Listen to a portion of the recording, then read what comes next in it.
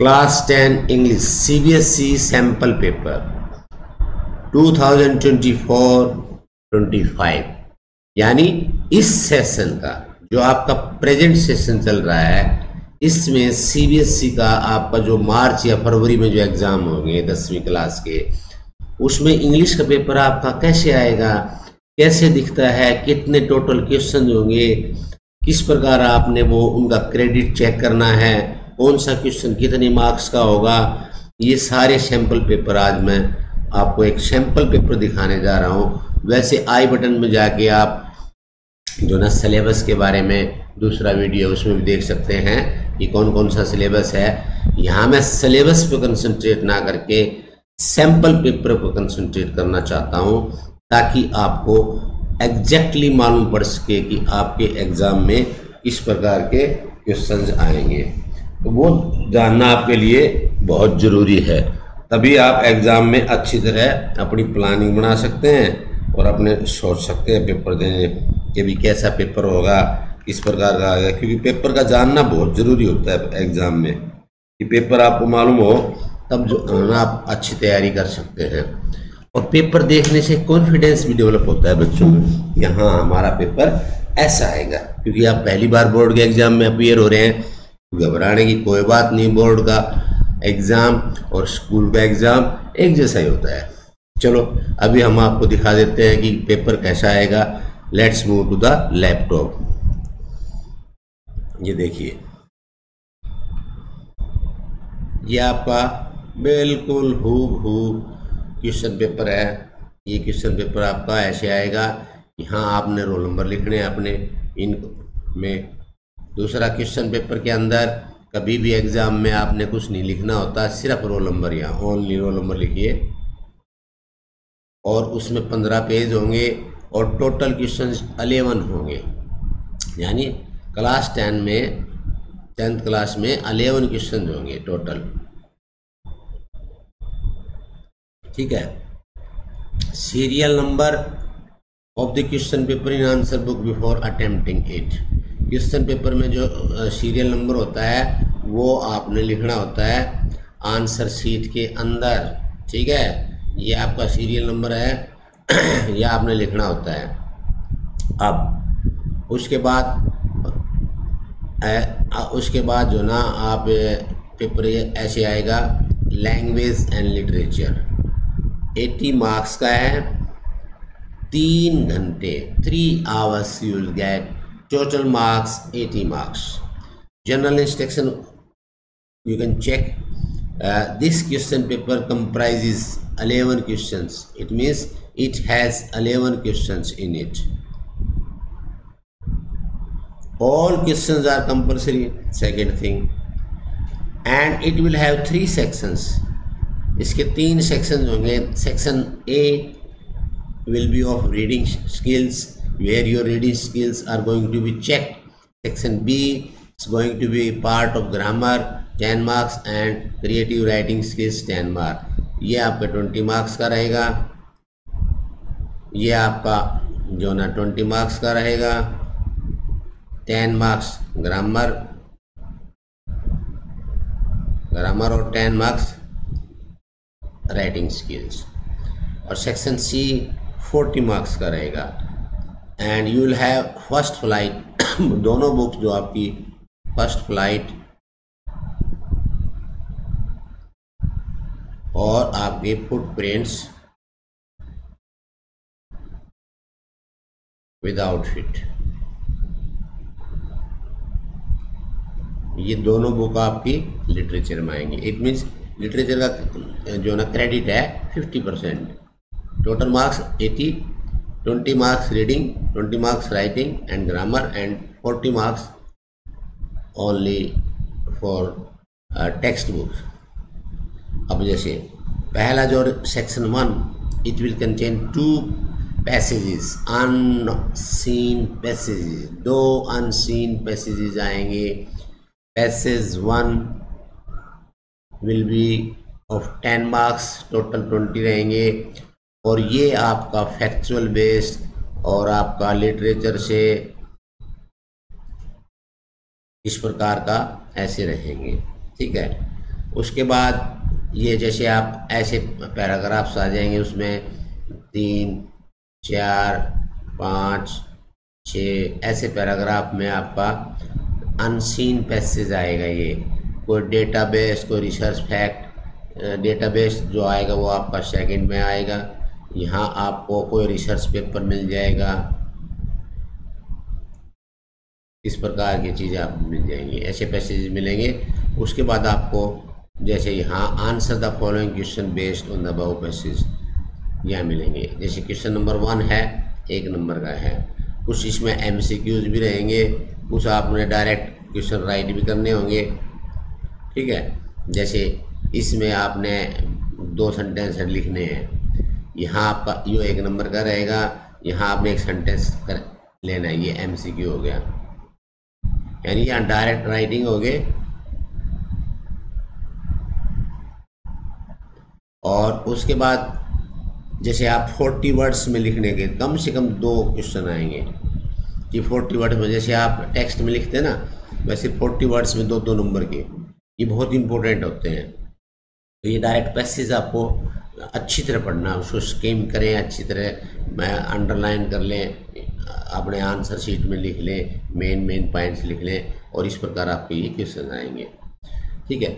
ये एमसीक्यू एक और आ गया जिस तरह तो दो एमसीक्यू हो गए, दो फोर्टी वर्ड्स के हो गए और इसके बाद ये एंटोनिम्स भी आगे सिनोनिम्स आगे किसी पेपर में एंटोनिम्स आ जाएँगे तो ये भी एम है। तो जो सिनोनिम्स एंटोनिम्स में आ रहा हूँ, हर चैप्टर में, हर चैप्टर में difficult word means antonyms synonyms में आपको करा रहा हूँ, वो आपको यहाँ बेनिफिशियल सिद्ध होने वाले हैं। और उसके बाद स्कूल मिला के ये आपके एट क्वेश्चन होंगे। एट क्वेश्चन और टेन मार्क्स का, जिसमें दो क्वेश्चन आपके आते हैं, दो दो के तो दो दो नंबर में एक एक नंबर एक्स्ट्रा हो गया तो टेन हो गए क्वेश्चन आएँगे टोटल एट सेकंड मैसेज आएगा रीडिंग कंप्रीहेंशन में, वो डेटा बेस्ड होगा। चार्ट आ जाएँगे ग्राफ आ जाएगा। स्टेटिस्टिकल डाटा होंगे उनमें।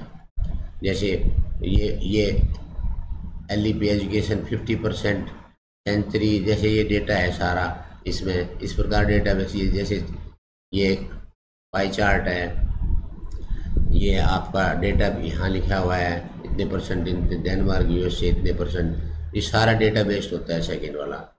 ये देखो, इसके बाद इसमें ऐसे क्वेश्चन पूछे जाते हैं, जो डेटा के आधार पे हैं। तो एनालिसिस डेटा का करना आना चाहिए आपने। जो पैसेज आप डेटा करते हो, उसमें इस प्रकार के पैसेज कम से कम टेन पैसेज मिनिमम आपने करने होंगे। और उसके लिए सबसे तरीका है कि सी बी एस ई की वेबसाइट पर जाइए और वहाँ आपको पुराने सालों के क्वेश्चन पेपर मिल जाएँगे। उन क्वेश्चन पेपर को सामने रख के आप जैसे रीडिंग कंप्रीहेंशन करें तो सारों के रीडिंग कंप्रीहेंशन दो तीन दिन में कर लें कंप्लीट अच्छी तरह, क्योंकि इसमें कोई सिलेबस का मैटर नहीं होता। ये आपका सिलेबस का मैटर नहीं है कि अभी आपका सिलेबस कम हुआ होगा, उस बात से कोई फ़र्क नहीं पड़ता। Next section B section B आपका ग्रामर होगी दस नंबर की और राइटिंग स्किल्स होंगी दस नंबर की। तो ये ये टेन क्वेश्चन कोई दस करने हैं, बारह में से, ट्वेल्व में से ग्रामर के दस करने हैं। तो बड़े ध्यान से करने होते हैं, ये टेन मार्क्स ही होंगे। टेन मार्क्स फुल आ सकते हैं इसमें। फुल टेन मार्क्स कोई नंबर आपका डिटेक्ट होने के चांस नहीं है। तो इस प्रकार ये हो गया आपका ग्रामर पोर्शन बारह क्वेश्चन में से दस। अब creative writing skills writing skills का क्वेश्चन आएँगे दो। क्वेश्चन नंबर फोर, ये आपकी जो ना राइट लेटर लेटर लिखना है। एक लेटर आएगा। ठीक है? तो एक लेटर दो में से एक एडिटर को लेटर होता है। कोई भी आ सकता है कंप्लेंट ऑफिशियल लेटर या कुछ और आ सकता है। तो वो आपके सिलेबस में जो है, वो लेटर राइटिंग करने हैं। दो में से एक करना होता है। क्वेश्चन नंबर फाइव बी पाँच नंबर का होता है और ये भी पाँच नंबर का होता है। तो ये आपने इसमें कंपेरेटिव स्टडी जैसे ये क्वेश्चन पाँच था, ये आ गया। तो इसमें जैसे मान लो ये है write and analytical paragraph paragraph लिखना है डेटाबेस इसको पढ़ के एक पैराग्राफ बनाना है। तो इस प्रकार के क्वेश्चन आपके एनालिटिकल बेस्ड आते हैं। Question number section C section C बहुत इंपॉर्टेंट ध्यान दीजिए बच्चों। चालीस नंबर का होता है। क्वेश्चन नंबर सिक्स आता है जो लिटरेचर में। वो आपका one day inauguration I was और मैं with sense of history in the first decade ये जैसे नेल्सन मंडेला का है। ये आपका फ़र्स्ट फ़्लाइट से फ़र्स्ट फ़्लाइट से पहला सिक्स क्वेश्चन नंबर जो ना रीडिंग कंप्रीहेंशन का आएगा। रीडिंग कंप्रीहेंशन यानी फ़र्स्ट फ़्लाइट को आपने डिटेल में पढ़ना है। सभी चैप्टर्स की जो ना line by line explanation I button में जाके आप ज़रूर देखिए। ठीक है? उसके बाद आपको ये क्वेश्चन मिलेंगे चार इसमें। और ये होगा फाइव मार्क्स का। तो कितना इंपॉर्टेंट हो गया रीडिंग कंप्रीहेंशन देखो, बीस नंबर का रीडिंग कंप्रीहेंशन ऊपर था और भाई पाँच नंबर ये हो गए पच्चीस। हम गिनेंगे, देखो, पाँच फ़र्स्ट फ़्लाइट से आ गया आपके और क्वेश्चन नंबर छ ये इसमें ऑप्शन भी मिल जाएगा आपको। क्वेश्चन नंबर सात। सात देखो, ये पोएट्री सेक्शन में से आएगा। स्टेंजाज का कंप्रीहेंशन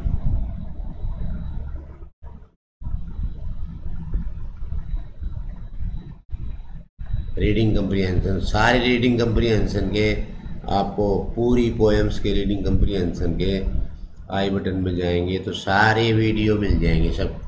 तो ये आपका पाँच नंबर का ये रहेगा। यानी दो स्टेंजाज आएँगे ए और इसमें से चार क्वेश्चन आएँगे। ठीक है?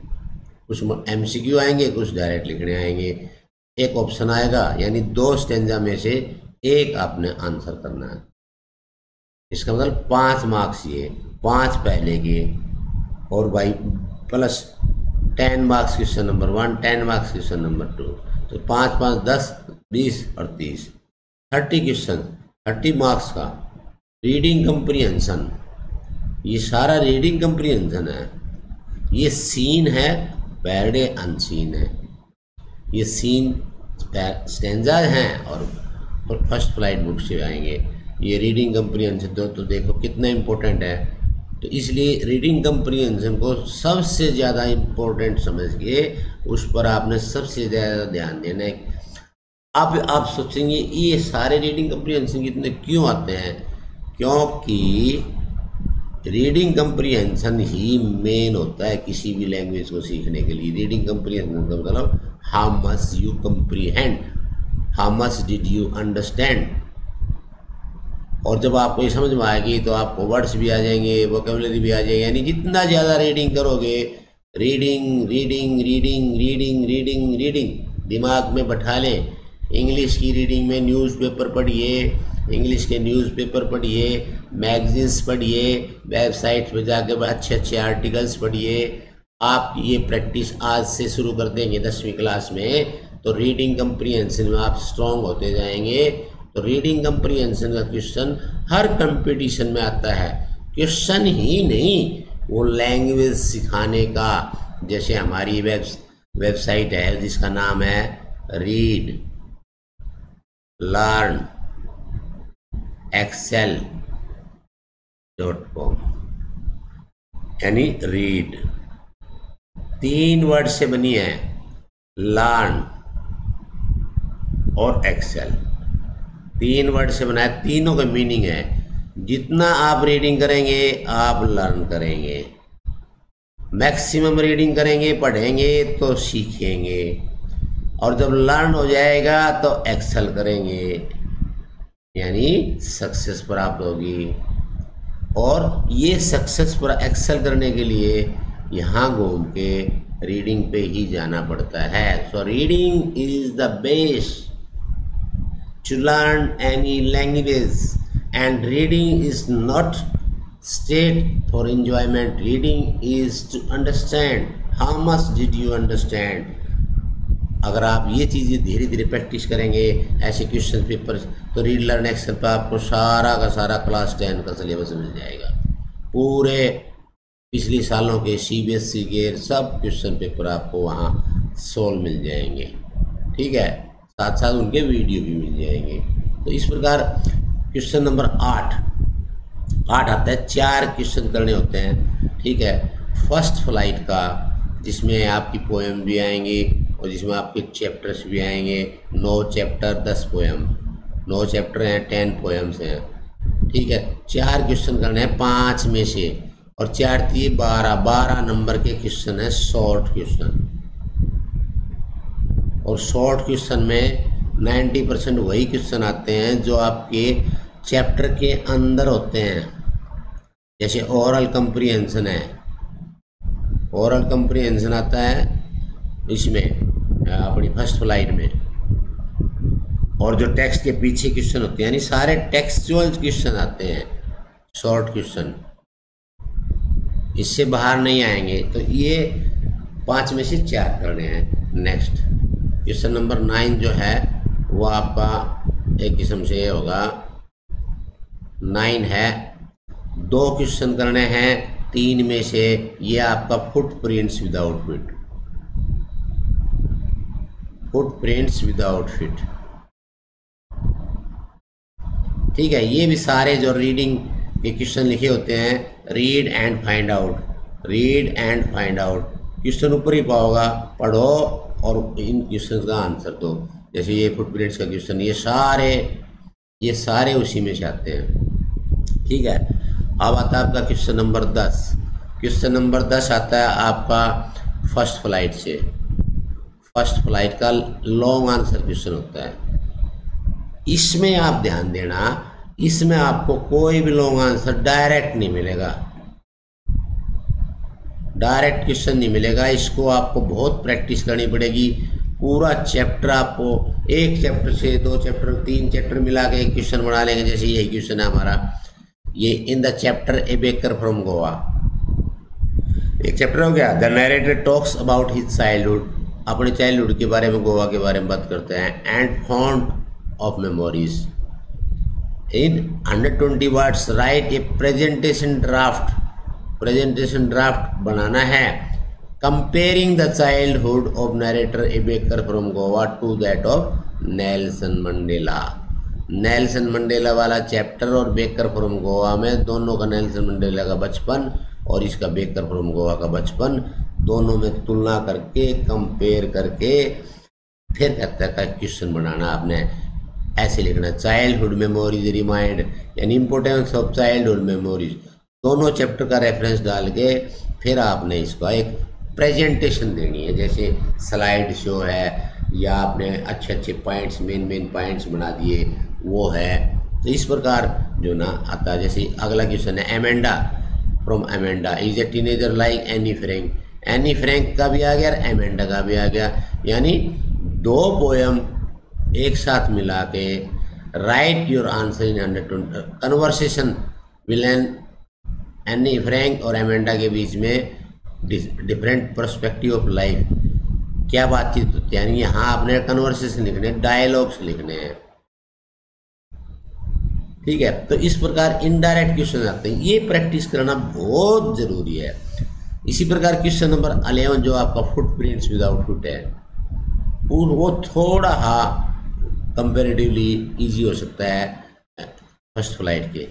ऐसे क्वेश्चन दो बड़े आएँगे। उसमें से आपने एक करना होता है। तो ये आपका जैसे सैंपल हो गया सैंपल पेपर जो आपका चौबीस पच्चीस में आएगा, इसमें इम्पोर्टेंट पॉइंट क्या क्या हो गए? इम्पोर्टेंट पॉइंट्स ये ध्यान दे लो, एक बार समराइज कर देता हूँ सारा को। ये तीन तो सेक्शन होंगे ए बी सी ये होगा आपका रीडिंग रीडिंग सेक्शन ठीक है? यह होगा आपका टेन ट्वेंटी मार्क्स का। टेन प्लस टेन और बी हो गया आपकी ग्रामर टेन मार्क्स और राइटिंग स्किल लेटर आता है जिसमें ज़्यादातर टेन मार्क्स और प्रेजेंटेशन भी आ जाती है. सी हो गया आपका लिटरेचर जिसमें आपकी दोनों बुक्स आती हैं. बहुत बुक्स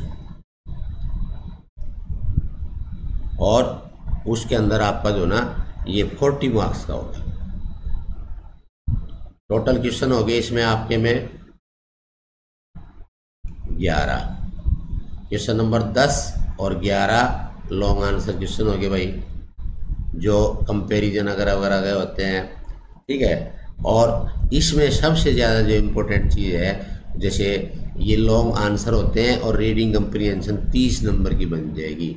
बीस नंबर के दो पैराग्राफ अनसीन आएँगे और एक पैराग्राफ आएगा फ़र्स्ट फ़्लाइट के टेक्स्ट चैप्टर में से, यानी प्रोज में से, और एक स्टेंजा आएगा आपकी पोएम में से। कहने का मतलब ये है कि फुटप्रिंट्स जो फुटप्रिंट्स विदाउट फिट है, उसमें से आपको कोई भी कंप्रीहेंशन का नहीं आएगा। तो उसमें आप टेक्स्ट क्या कर सकते हो फुटप्रिंट्स में?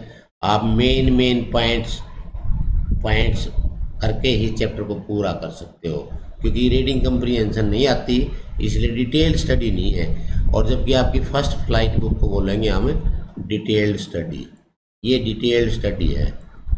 इसमें आपने सब कुछ पढ़ना पड़ेगा। हर वर्ड हर लाइन हर पैराग्राफ हर स्टेंजा फुटप्रिंट्स विदाउट फिट में आप ये चीज़ अवॉइड कर सकते हैं। तो मुझे आशा है कि आपको ना बिल्कुल समझ में आ गया होगा सैंपल पेपर कैसे आते हैं। मैंने मेन मेन चीज़, जो मेन मेन इसके आइडियाज़ थे टिप्स थी टेक्निक्स थी, कौन से क्वेश्चन कैसे होते हैं, इसका कितना क्रेडिट है, ये जानना बहुत ज़रूरी है। So that you can make your plan you can make your strategy for your final examination which is going to be happen in feb 2025 2025 में होने वाला है। ठीक है? और मुझे आशा है कि आपको पूरा सिंपल पेपर समझ में आ गया होगा। अगले वीडियो में, अगली क्लास के अंदर हम आपको पूरा पेपर सोल्व कराएँगे। और कैसे सोल्व करते हैं वो भी दिखाएँगे। प्लस साथ में कैसे सीबीएसई में बच्चे एग्जामिनेशन पेपर सोल्व करते हैं, वो भी दिखाएँगे। ताकि आपको कोई भी दिक्कत ना हो पेपर में आंसर शीट में कैसे लिखते हैं। तो अगर अच्छा लगा हो तो चैनल को बच्चों सब्सक्राइब करते रहो बारहवीं क्लास तक मैं आपके साथ हूँ। और जो प्रेजेंटेशन हम देंगे, सारे दसवीं क्लास के वीडियो, सारे यू प्रिंसिपल सर यूट्यूब चैनल पे आपको हर वीडियो मिलेगा। मैंने अपना नाम तो बताया नहीं। हो सकता आपको मालूम हो, मैं हूँ एम एस यादव, आपका इंग्लिश टीचर और आप देख रहे हैं principal sir YouTube channel it is your channel it is free of cost हर बच्चे के लिए है। हर लैंग्वेज में मैं इंग्लिश और हिंदी दोनों में पढ़ाता हूँ। हिंदी वाले बच्चों को भी बेनिफिट हो जाए। नॉन हिंदी वाले बच्चों को भी बेनिफिट हो जाए। सीबीएसई का हो हरियाणा बोर्ड का हो राजस्थान बोर्ड का हो Madhya Pradesh board Uttar Pradesh board Karnataka board सब इंडिविजुअल बोर्ड्स का भी सारा क्वेश्चन मैं उसके अंदर कराता हूँ। तो आप चैनल को ज़रूर सब्सक्राइब कर लें। और thank you thank you bye bye